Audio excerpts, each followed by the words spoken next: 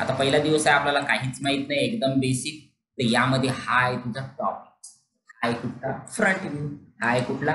Left hand side view आणि हा आहे कुठला? प्रोस्पेक्टिव्ह व्ह्यू पहा कीबोर्डचं मधलं बटन जर प्रेस केलं तर पॅन होतं पहा कुठल्याही व्ह्यू वर गेल्याच्यानंतर. ओके एवढं लक्षात राहील? आता पॅन झाल्याच्यानंतर इथं झूम इन झूम आउट होते पहा कुठल्याही व्ह्यू मध्ये गेल्याच्यानंतर.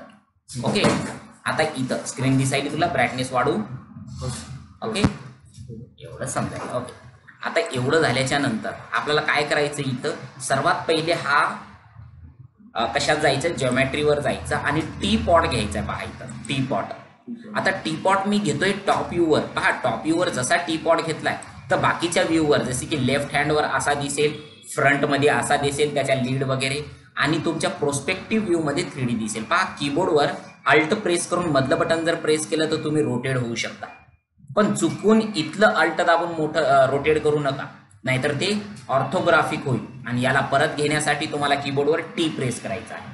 ओके इथलं जरी चुकलं अल्ट दाबून जर तुम्ही चुकून फिरवलं तर कीबोर्डवर एफ प्रेस केलं तर काय होईल? फ्रंट इथं काय येईल तुमचं? एल आणि इथं जर टी प्रेस केलं तर टॉप होईल पी प्रेस केलं तर प्रोस्पेक्टिव्ह होईल. ओके तर हा झाला तुमचा टी पॉट आता याला जर आपण इथं याच्या काही प्रॉपर्टीज आल्यात पाहा. ठीक आहे? पॅरामीटर्स जसे की याच्या रेडियस घेतलाय याचे सेगमेंट वाढवल्यात पहा. वाढल्यात आता ह्या सेगमेंट वाढल्याच्या नंतर बस आपण टीपॉट घेतलंय ओके केलंय याचीच कॉपी करण्यासाठी शिफ्ट दाबून कॉपी केली. ओके झाली कॉपी कॉपी केली दोघांनाही सिलेक्ट केलं शिफ्ट दाबून खाली कॉपी केली.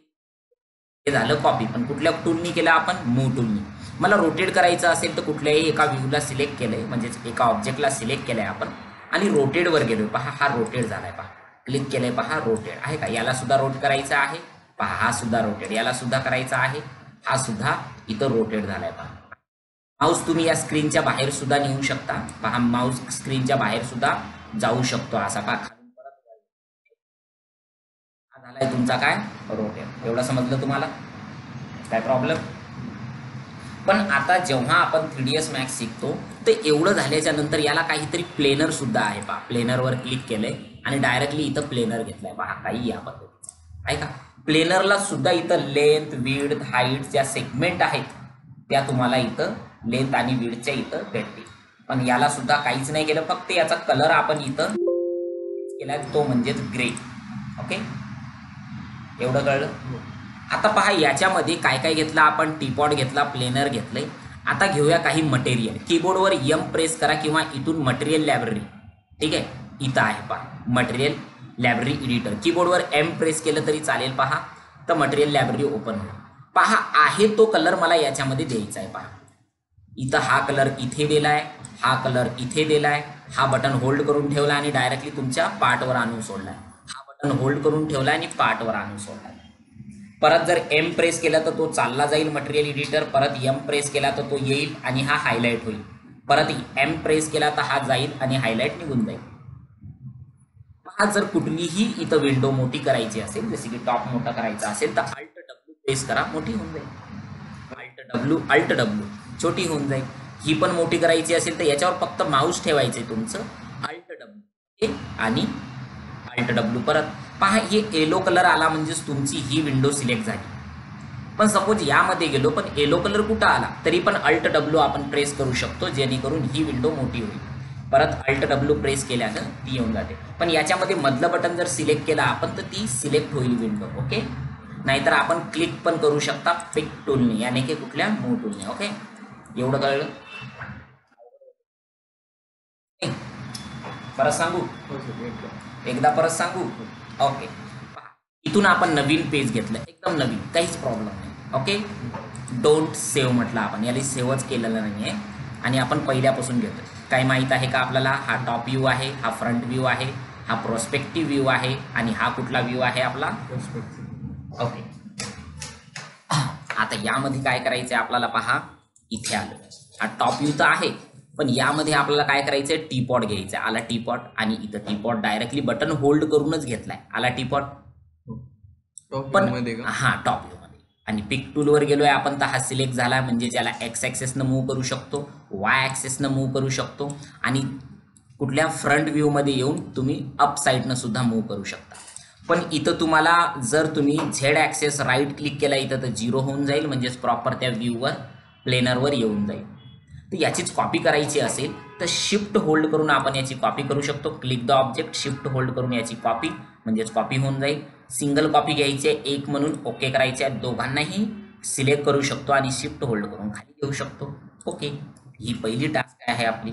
इथं झूम इथं झूम इथं झूम ठीक आहे? माहीत आहे ही विंडो मोठी करायची असेल तर अल्ट डब्ल्यू ही विंडो मोठी करायची असेल तर अल्ट डब्ल्यू यामध्ये सुद्धा काही टूल शिकलेत आपण जसे की पहिले रोटेड कुठल्याही ऑब्जेक्टला सिलेक्ट करा रोटेड होऊन जाईल हा. ठीक आहे?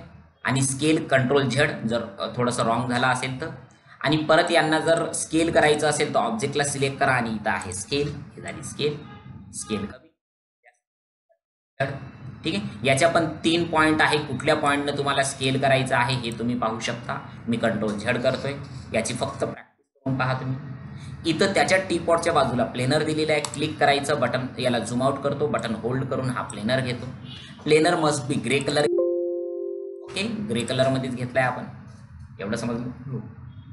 राईट आता यामध्ये आपल्याला मटेरियल एडिटर घ्यायचं आहे जे की इथं आहे. ओके हे मटेरियल एडिटर आहे. डायरेक्टली क्लिक करून याला द्यायचं डायरेक्टली क्लिक करून कलर द्यायचा. जो कलर पाहिजे असेल तो कलर द्यायचा याला. ठीक आहे? मला हा कलर इथे पाहिजे बटन होल्ड करायचं माऊसनी इथे. आणि याच्यावर द्यायच सोडून. इथे पण क्लिक करू शकता किंवा कीबोर्डवर एम प्रेस करू शकता तुम्ही. ठीक आहे?